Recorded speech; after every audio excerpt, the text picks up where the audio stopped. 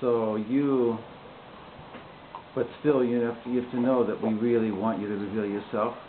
You've been hidden long enough, and the fact that you're here and that you're the one, you're the oneness behind and beneath and above all, the oneness you're you're the oneness within which all takes place, within which all existence exists.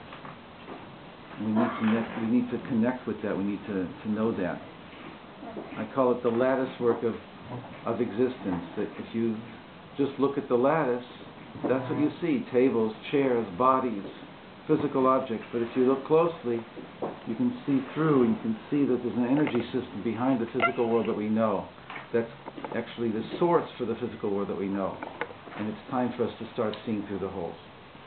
So the Shem Hashem, the name of God that appears at the end of every one of these stanzas, it actually has a different nikud, a different vowing, which I won't go into now, but it's very special to, to meditate on.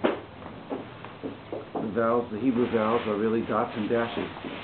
And dashes are male and dots are female. And so there's a, a very simple, simple, beautiful way to understand that the actual the nikud, the vowels that bring alive, they bring alive the letters. You can't say the letters without some kind of a, e, e, o, u. That's it. That's what makes the sounds come alive. So that the spirit level that's enlivening the body of the letters, the ruach, that enlivens the the body of the letters. So here also there's a kavanah, there's an intention when we say Hashem's name, is that it's written one way, we mentioned it last night, and it's said another way.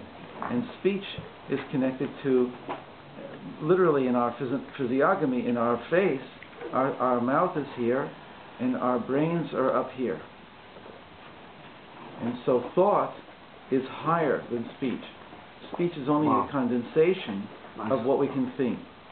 And so what we're allowed to say of God's name is only that He's the Lord, He's the Master, He's the director and the producer of this play. But He's not limited by that.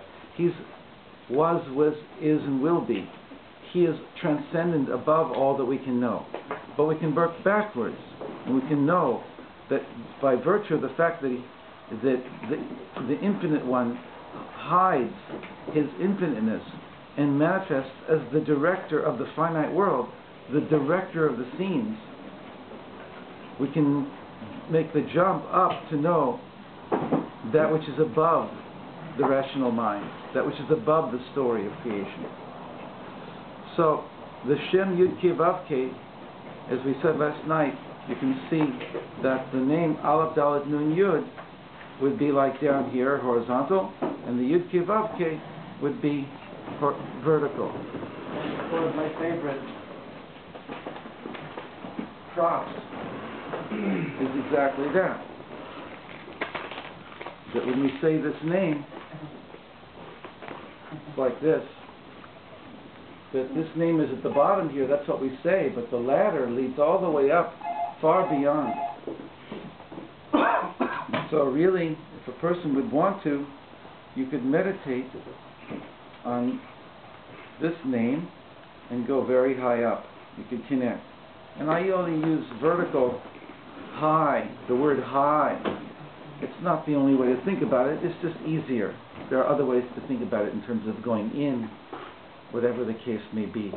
But it's an inner level, and it transcends anything we can say. But then what we want to do is to bring that higher level down into creative speech we become creators with our speech. Because abracadabra, as you know, means I will create according to what I speak. So we become co-creators with Hashem. We use the power of speech to create goodness, to bring powerful energy in from the higher levels. Um, and one more thing is that sometimes in, in terms of prayer, and this is a this is the archetypal case, this is the paradigmatic case, is we don't say what we see. We only say what we say, but we think what we see. See, when you see Yud Ke Vav Ke, you don't say it. You're not allowed to say it. One of the reasons being is that it's holier, it's more sacred. It's so sacred that we won't, we don't want to profane it. We don't want to make it available in human speech, which would almost make us too familiar with it. We keep it behind wraps. We keep it in the sacredness of non-speech. We don't cheapen it. This is a simple explanation of why we would like do this. Because otherwise, like, what are we doing? We see one thing and say another. It's not normal. Anyway, the the combination of the two names together is a gematria. Of Yud Ke Vav is 26, and Aleph Dalet Nun Yud is 65. So if you're quick with your numbers, you can do 65 and 26 is 91. And you should know that when you say this name, the Aleph Dalet Nun Yud,